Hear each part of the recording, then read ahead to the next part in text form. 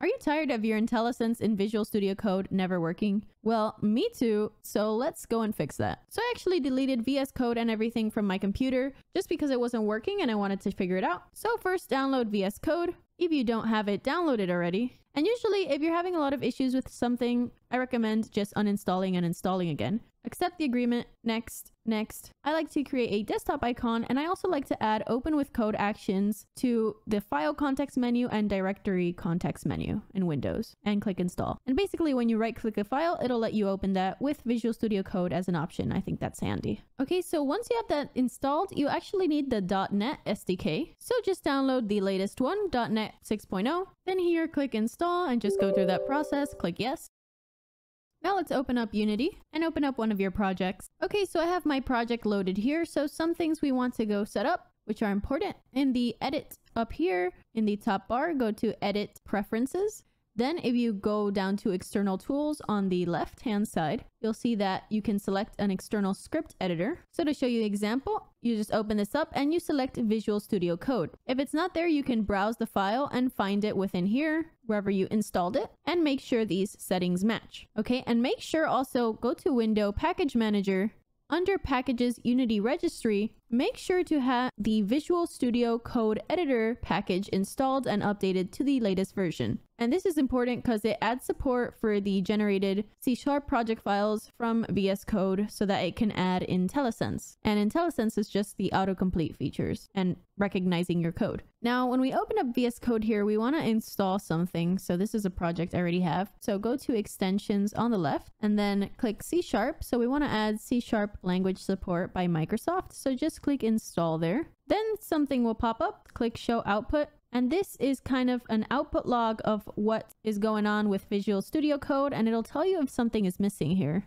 So you'll see that here it says error, the reference assemblies for Net Framework 4.7.1 were not found. To resolve this, install the developer pack for the framework version or retarget your application. So we'll also need to install this 4.7.1 developer pack. So just click install on this developer pack and click yes. And then you can go back to Visual Studio Code, close out of it, and then you can go to assets, Open C Sharp project. If you're having troubles with IntelliSense, sometimes clicking Open C Sharp project helps. Or if that's not working, you can also go to Preferences again, External Tools, and you can regenerate the project files as another resort. So go to Assets, Open C Sharp project. Now you'll see that that error is gone once we downloaded that developer pack. And now if we try to type here, we have IntelliSense working. Yeehaw. So what I did was basically uninstall Visual Studio Code and the .NET packs that I downloaded. I also uninstalled all the extensions from Visual Studio Code. I reinstalled the .NET package and I just used the latest one for that. I had to download the developer pack for .NET 4.7.1.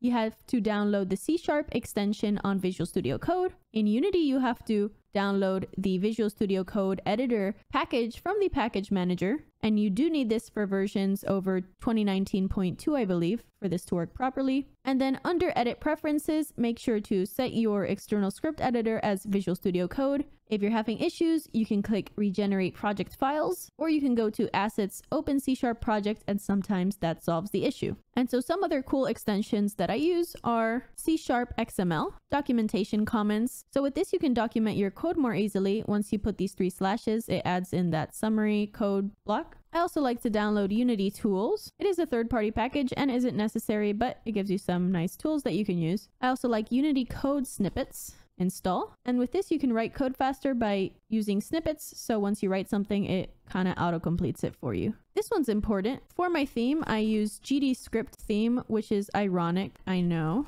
because we're not using Godot, but it just looks so nice. And for debugging, you can search Unity debug and install that. So what that does is when you go to the debug section here under run and debug, you can select Unity editor as a platform. And once you put a breakpoint on your code, so let's say we put a breakpoint there, then you can click play. Then in Unity, you might have a pop-up that says enable debug for this session or for all projects. I just clicked enable debug for all the projects. And when you click play, it'll stop the game at that breakpoint that you set so that you can easily debug. But that's out of scope for this video. But I'll go over this more in depth in another video. And last extension is called rainbow brackets. I like the deprecated one as a nicer color. And basically this just colors the brackets for you so that you can easily match and see where your brackets are opening and closing. So I hope you enjoyed this video. It helped ease my frustrations. And what the heck is this? Rainbow fart. Why is this the best thing I've ever heard? Anyways, thank you so much for watching. If you enjoyed, please like, subscribe, and share this video. And thank you to all my patrons for your support. It is so very much appreciated. Thanks so much for watching, and I'll see you next time.